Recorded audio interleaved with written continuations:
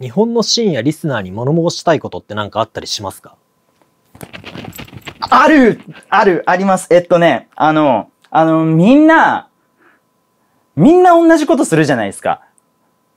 って言うとすごいなんかバカの回答みたいですけど、いやでもマジでそうで、あの、例えば、ななんだろう。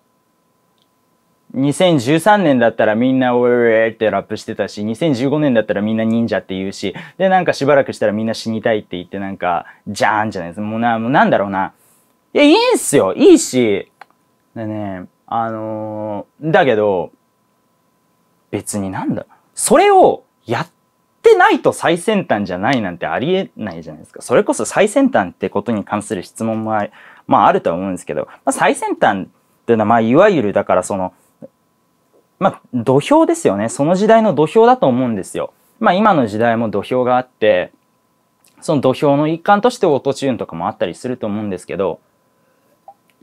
なんだろうな。その土俵との向き合い方はもうみんな自由なんだよっていうことをやっぱり思ってほしいし、特になんだろう、フックアップをすることができる人たちに、本当に、なんだろう、申し上げさせていただきたいのは、例えばじゃあ今だったらそういう、あ、今、今ではないか。あの、去年くらいだったらそういうギターかき鳴らすエモラップ、なんかそれをやってる人が最先端でやってない人が遅れてるっていうなんか非常、もうなんかこうやって言葉にするともうアホみたいですけど、そういう非常にあす、しゃばい判断の仕方がもう蔓延してますよね。だからなんか、違うんですよ。流行ってるものがあって、今これが最先端、つまり一番新しい土俵、最新基準、最新規格があって、で、あります。で、吸い取って、その中で、それに対して俺は、じゃあ、そっちがそう行くんだったら俺はこう行くとか、そっちがそう行くんだったら俺はこう行くとか、そういう風にして、多様性があるのが本当に面白いシーンだと思うんですよね。だから俺は、なんだろう、同じ時代とか同じ場所に、2013年みたいなラップしてるやつも、忍者忍者言ってるやつも、エモい人も、同時にいていいと思うし、なんか、最先端みたいなものを知って学んだ上で、自分に好みのものを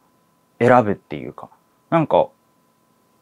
ありなんだよって言いたいです。だからなんか俺は、あえて、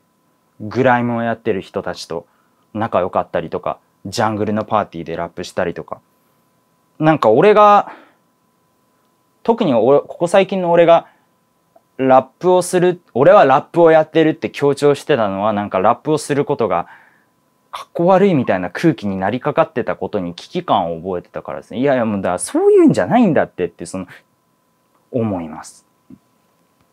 いい答えです。